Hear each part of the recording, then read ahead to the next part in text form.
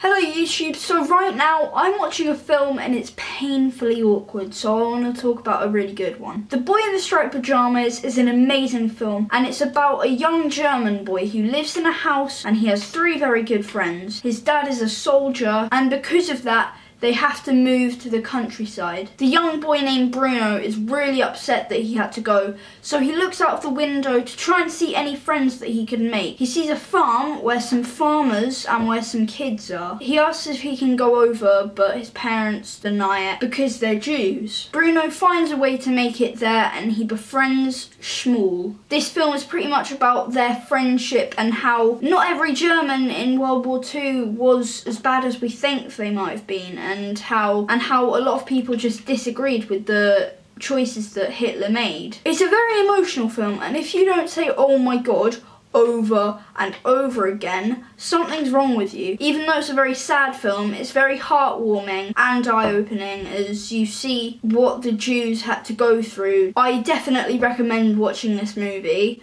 I really don't want to go back to the movie I'm watching right now, which I might review again if you want, because I think it will be a, a very different review to this one, as I'm just going to be roasting it. Definitely give The Boy in the Striped Pyjamas a shot, and it's going to make you think a lot more about the war. There is literally not one thing that I think is a flaw about this movie, so I give The Boy in the Striped Pyjamas an A+. plus. Howdy out.